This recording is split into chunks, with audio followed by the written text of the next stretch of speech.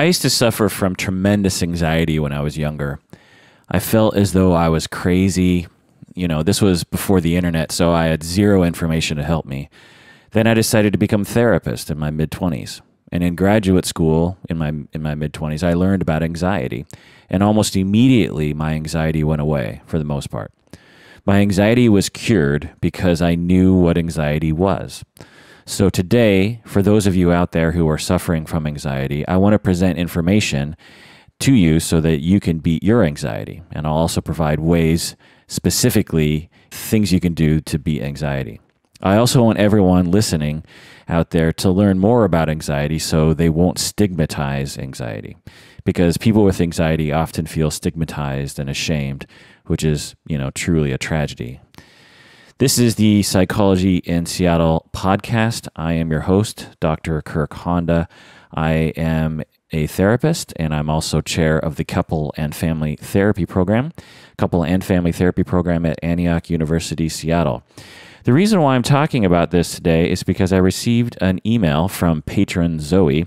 She actually sent me an email a few months back, but she also sent me an email recently as well, asking, let's see what she said here. Patron Zoe said, uh, I listen to your podcasts on YouTube. I have some suggestions for a topic uh, hypochondria or agoraphobia panic disorder. She says, This is my favorite podcast. And she spells favorite in the with the U, so either she's Canadian or British or something. But anyway, listener Zoe, this or uh, patron Zoe, this podcast is for you since you've been asking for this for a while, and you're also a, a patron.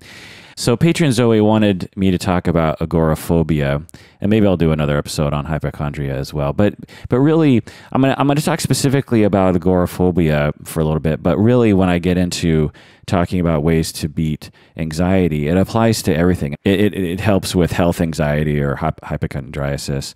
It helps with agoraphobia. It helps with panic. All, all the the ways that I'm going to present later are really ways to to help with any anxiety. Hey, deserving listeners, this is an old episode that we have re released as a patron exclusive episode.